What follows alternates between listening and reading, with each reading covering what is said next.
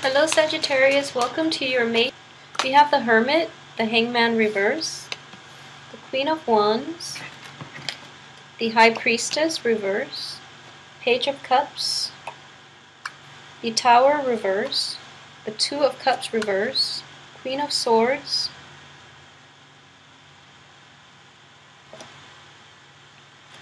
the Ten of Cups, and the Seven of Cups reverse.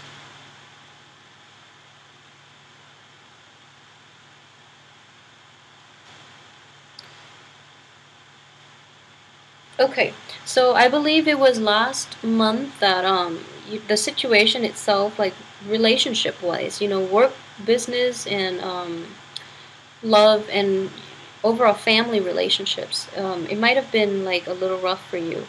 And I do feel that for this month, there's a lot more clarity moving forward because at least you already know what has happened and how you can move forward. And I feel that you're kind of like propelled to move forward and kind of like pulled along so you don't really have much say. And in the first two weeks, I do feel that a lot of you are um, putting on a very brave face, okay? So you're looking at the past, you've come to terms with it, and you've realized that, you know, either you can sit and wait for it, or you can like choose to um, choose to overlook it and continue with it. So I do feel that um, there's a little bit of a um, ambivalence here. So a lot of the information that might have been exposed, be it, you know, like uh, new information coming to light, especially last month, and you're trying to tell yourself what you should do, and I don't feel that you've made a decision about what you should do yet, it's still a little problematic. And that's why I say that you're putting on your brave face, because deep down, I feel that a lot of you might still be a little hurt and you're recoiling from this, okay? So there is a situation that has definitely fallen out. And with this in the reverse position, whatever it is that you were dealing with last month and to this point where it still tugs at your heartstring, I would advise you that um, with the Two of Cups in the reverse position, this is basically the relationship has run its course that is the name of this card. You know, the uh, relationship itself is done. You and the other party have learned everything that is necessary, that is required of you in this union. So if it's a work relationship, if it's like, even if it's like a totally karmic, totally fated relationship, I do feel that it has run its course, okay? So cut your losses and move forward. A lot of you are trying to get to that point where you can actually like um, I feel that uh, some of you might convince yourself of that fact, but you haven't really like your head and your heart are not in this on the same page yet for you to fully implement it and like to walk away without regrets. So you're still trying to figure things out, and that's okay. This seems like a very traumatic experience. We have the tower in the reverse position because, you know, it happened. It's very sudden. It, it did happen. And you can't really ignore this fact, but you're kind of like turning the other way. So, like I said, it could play out in two ways. A lot of you are like very, very hurt, and you are trying to figure out should I just overlook it? I don't feel that it's a situation that you can overlook because very quickly you are going to get reminders of this and every time you're reminded of it, it hurts. You know, it, it like it it's like pin and needles, like sitting on pin and needles and waiting for everything to just like collapse. Like you're just waiting for like the the signal and then every time it just comes up so it's it's really important to not be in denial about this and really accept it for what it was and just move on from this because I don't feel it can be fixed. And in the same um, on the same note, you know, by like overlooking it, it is going to resurface in the in in the future, and it is going to be more hurtful. So I just want you to be aware of that fact, okay? And I feel this is for mainly for like Aquarius. Um, I'm sorry, Sagittarius women.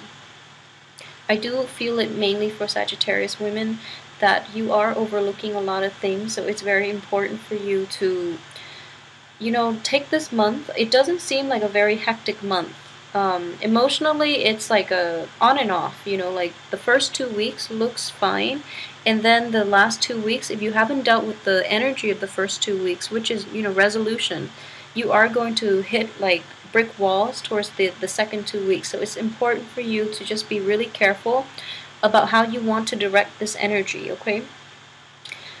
What I'm sensing is a lot of things come up and you have to like uh, deal with them but you are complacent and you you are like sitting back you're taking a step back rather than diving in head first which could be good or bad depending on the situation that you're in. However i do feel the overall energy is that um, you really have to be proactive but instead you're taking a seat back a back seat approach.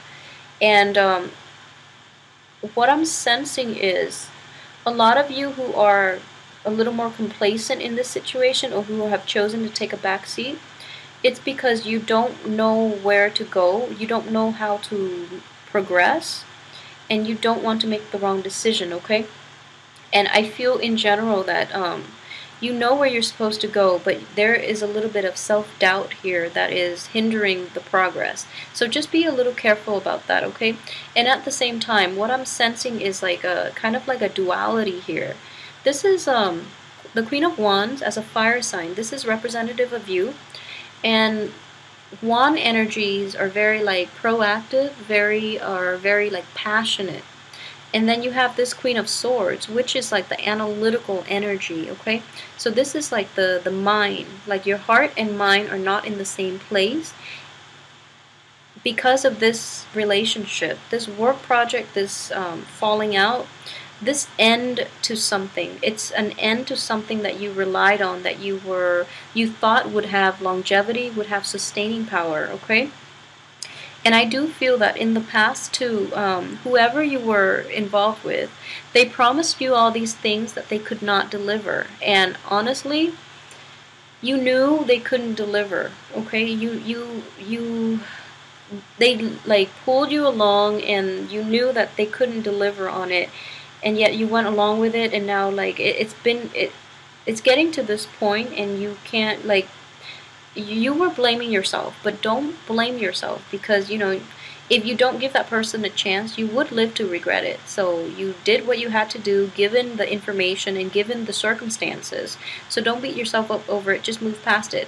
In general moving on is not going to be a problem for you. I feel that you just have to make up your mind to do it and then it's like easy street you know? But it's just like you're grappling with this all the information that is given to you. You're fluctuating back and forth and your mind and your heart are not in sync yet. So try to like um, you know being a fire sign i would say try to like find it in your heart all the good reasons um, in your heart why it is important for you to like just leave it behind completely and like start fresh and then your mind will quickly like transfer over okay? And then you'll be in the same place.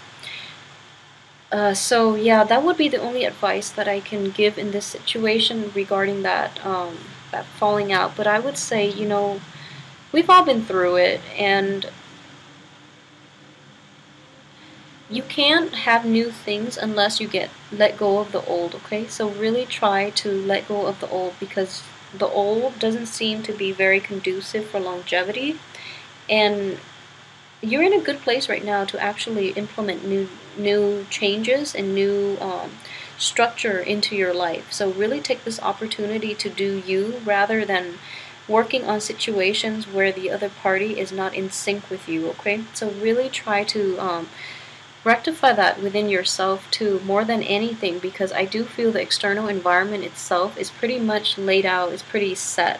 So it's all it's um, that's required right now is whether you want to like forge your own path or you know like go back like work within the confines that somebody else set out for you which is not fair and they shouldn't have imposed that in the first place. But I do feel that they were premature in promising all these things and that they never uh, had intentions on following through with. Okay, so moving in um, towards like the end of this month, what I do feel is that um, if you have people coming back from your past, and I feel that most of you will, okay, I want you to really take a good look at the past and see why they're in your past for a reason and how like uh, you and the other con- person contributed to this current situation and how it has grown over time and what really transpired between the two of you okay? Get like a little more sense of clarity. I feel that this is uh, the first two weeks would be a good time to do that.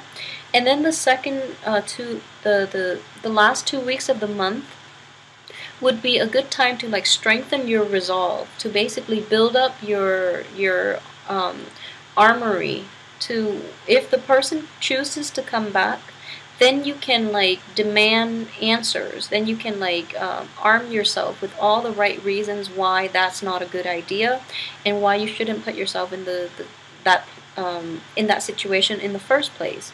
So it's important for you to basically use your head. I feel that you are going to get weak uh, around the knees when the other person apologizes or when they come in bearing gifts or, like you know bearing nice things so it's important for you just to strengthen your resolve and proceed ahead as if as if they can't affect you, okay?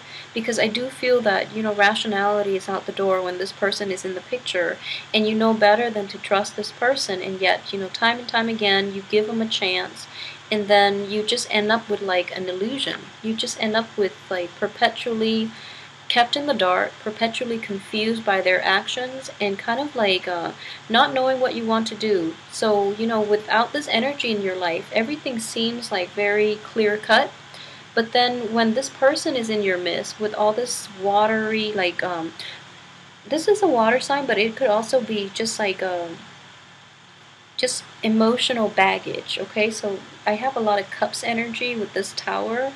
It's a major arcana, and then this other cups energy that didn't work out.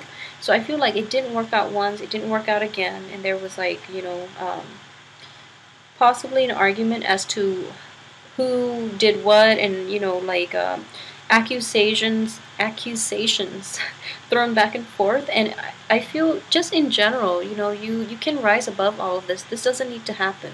So it just feels to me that um, this is cyclical. It should have ended and it keeps going back it keeps cycling back in. And like I, I mentioned this for Aquarius. This has happened many times for Aquarius and Pisces too.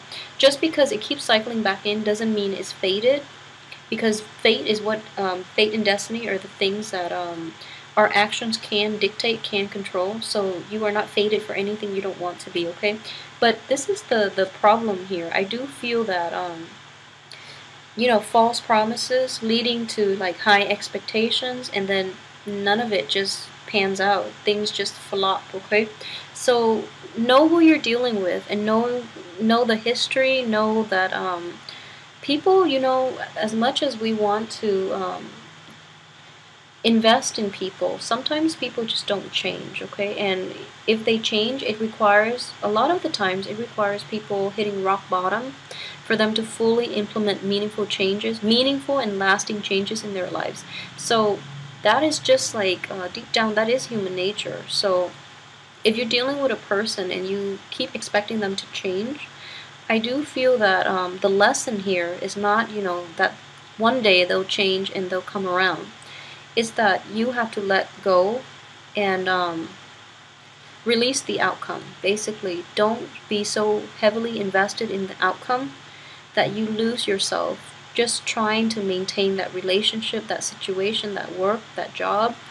Um, if it hasn't changed by this time, I don't believe it, it's going to, okay? And um, it's important for you to like cut your losses and really get past this. And I'm getting the same type of readings across the board too, and I do feel that um, Mercury retrograde is happening in May.